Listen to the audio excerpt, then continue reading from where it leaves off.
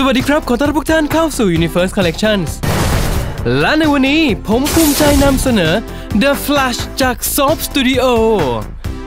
ก็เป็นอีกงานหนึ่งนะครับ งานใหม่จากค่าย Soap Studio นะครับ ก็เปิดตัวด้วยนี่ครับ The Flash นะครับ ก็เป็นกล่องแบบเล็กๆนะครับ แล้วก็เห็นของด้านใน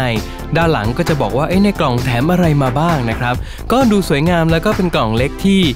ไม่กินเนื้อที่นะครับ ก็โอเคเลยออกแบบมาสวยดีนะครับแล้วก็บอกว่านี่เป็นเวอร์ชันพิเศษนะครับ ซึ่งไม่รู้เวอร์ชันปกติคือเวอร์ชันไหนเนาะเอาละครับแกะออกมาแล้วครับ นี่ครับ The Flash ของเราช่างดูเหมือนในหนังนะครับ เพราะว่าในหนังเขาจะตัวผอมๆ สูงๆ เก้งก้างเก้งก้างหน่อยเนาะแต่ว่าสัมผัสที่ได้จับนะครับ ต้องบอกว่าตัวเล็กแล้วก็เบามากนะครับ คือไม่ได้เตี้ยนะครับ แต่ว่าไม่ถึงว่าตัวดูบอบบางนิดนึงแล้วก็เบานะฮะแล้วก็ผอม แล้วก็แต่ที่สำคัญครับคือชุดก็ทำมาเป็นลักษณะแบบว่ายางๆหน่อยนะครับ แล้วก็ดูผิวมีความขรุขระนะครับ ก็ สกรีนไลน์มาได้สวยมากนะครับ ก็ต้องยอมรับว่าทำมาตรงนี้ค่อนข้างจะโอเคนะฮะ แต่ว่าก็ไม่ได้หนามากนะครับ ก็ออกจะแต่ก็ไม่ได้บางซะทีเดียว ดูค่อนข้างจะแข็งแรงทนทานในระดับหนึ่งนะครับ ก็โอเคนะฮะ แล้วก็ชุดก็ค่อนข้างยืดได้เต็มที่นะครับแต่ว่าในส่วนที่เป็น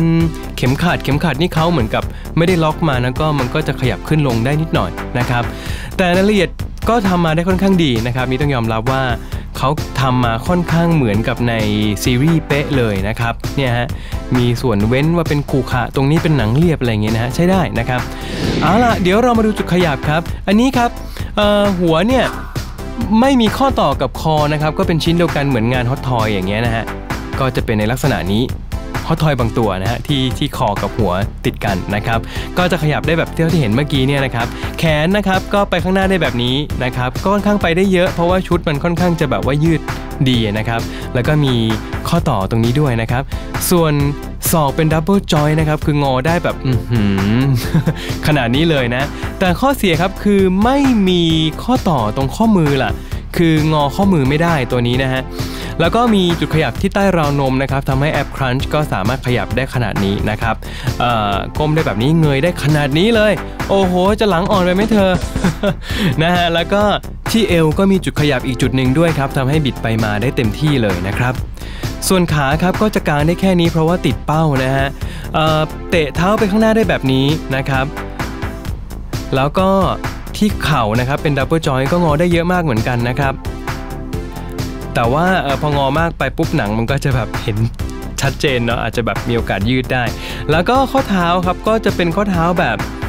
ไม่ได้เป็นจอยดีๆหน่อยนะฮะของผมนี่ตัวนี้ข้อเท้าหลวมมากนะครับ แต่ว่าตรงปลายเท้ามีจุดขยับด้วยเมื่อสักครู่ใช่ไหมฮะงอเท้าได้ แต่ว่าของผมนี่เท้าหลวมมากคือแบบเฮ้ยทำไมเอ่อ QC เป็นแบบนี้ล่ะอะไรอย่างนี้นะครับ ก็เนี่ยฮะ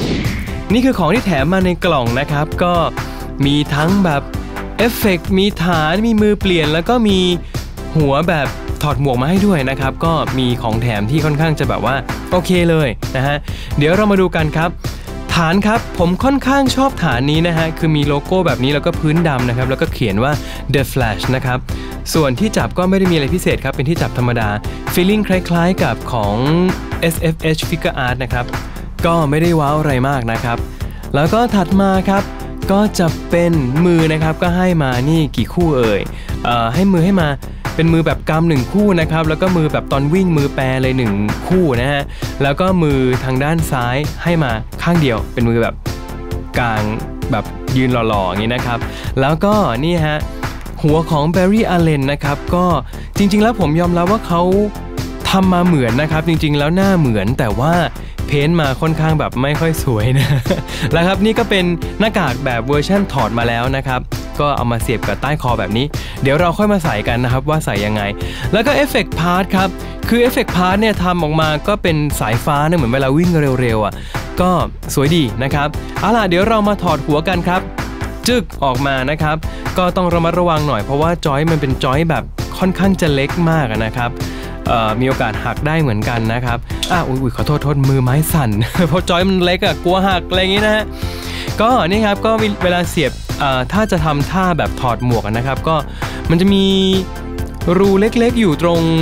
ปลายหมวกเนี่ยครับซึ่งค่อนข้างประกอบยากนะครับ เดี๋ยวผมขอตัดไปดีกว่าฟื้บเข้ามาประกอบมาก็จะเป็นประมาณนี้เหมือนถอดออหมวกออกมาแล้วนะครับ แบบนี้ ก็โอเคนะฮะดูหล่อไปอีกแบบหนึ่งนะครับ อันนี้ครับเปรียบเทียบไซส์นะครับระหว่าง The Flash ของ Mesco นะครับ The Flash Mesco จะตัวเตี้ยกว่า แล้วก็เปรียบเทียบกับ Mesco BVS Superman จะตัวสูงกว่าเยอะเลยครับ ถัดมาครับเป็นการเปรียบเทียบระหว่าง Mesco Oman Logan แล้วก็ Deadpool นะครับจะตัวใกล้เคียงกับ Deadpool นะฮะคือ Soap Studio จะทำมาค่อนข้างสูงนะครับแล้วก็เปรียบเทียบทางซ้ายมือครับจาก DC Multiverse นะครับ Zoom ก็จะตัวเตี้ยกว่านะฮะแล้วก็ทางขวามือกับ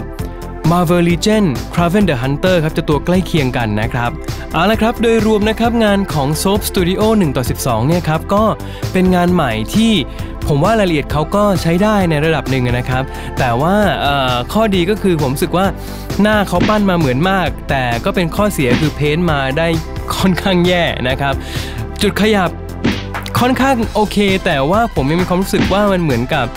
อ่ออ่อนแอแล้วก็กองแกงนิดนึงนะฮะ คือจะเห็นว่าอย่างที่ผมบอก QC เนี่ยเเท้าที่ผมได้มาก็หลวมมากนะครับ คิดว่าในอนาคตเขาอาจจะพัฒนาก็ได้ ยังอยากให้โอกาสเขาอยู่นะครับเป็นอีกค่ายหนึ่งที่น่าจับตามองครับ แต่ถ้าณตอนนี้สำหรับผมถ้าเทียบกับเมสโกผมรู้สึกว่ายังสู้เมสโกไม่ได้เนาะนะครับ ก็